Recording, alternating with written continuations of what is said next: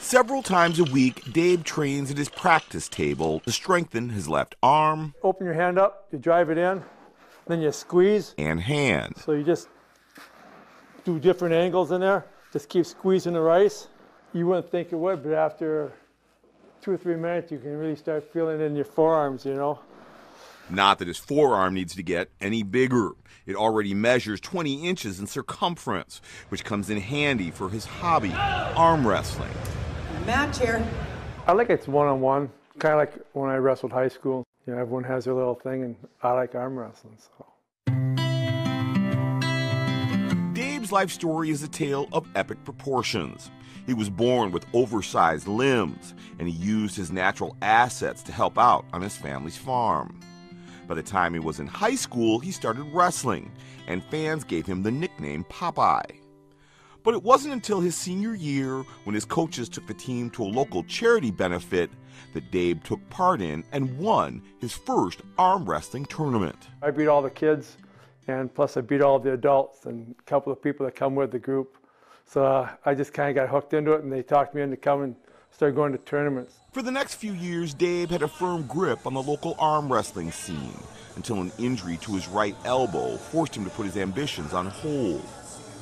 He picked it up again about 10 years ago after he entered an arm wrestling tournament at a local bar, but now he uses his left arm. I wasn't sure about getting back into it at 48, but they ended up talking me into it, and I ended up winning and beating the guy that had the Minnesota title. So it's I was drawn right back into it again. Since then, Dabe has won state and national arm wrestling titles and competes on the World Arm Wrestling League circuit.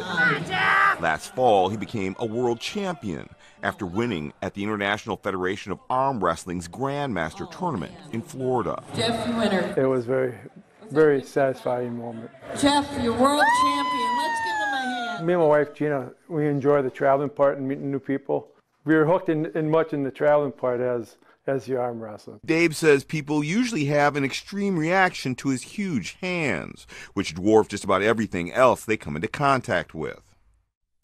His wedding ring is a stunning five inches around, and he can hold a basketball in each hand. Some are pretty shocked, you know, just kind of amazed, odd, and um, but the people that have known me for a while, it's they just think, well, it's just Jeff. Medical experts have no idea why Dabe's arms are so big. Doctors at the U even ran tests to see if he was born with gigantism or elephantitis. But Dave says they didn't find any disease or abnormalities. Yeah, I could do everything just fine like everyone else. I haven't really found much I can't do. The things I can't do is find gloves. Even though his nickname is Popeye, Dabe says he often gets compared to a more recent animated character, Wreck It Ralph. I'm gonna wreck it! I have no problem with that. I don't mind. I think it's kind of a compliment. There's nothing wrong with it, you know. I am who I am. And for everything he's accomplished, you have to give this gentle giant a hand. I'll pull as long as I, I'm able. You know, just go find it. If I can't keep up with the young guys no more, I'll just go pull with the older ones or still pull with the young guys and get beat up. And, but oh well, it's still enjoyable, still meet people.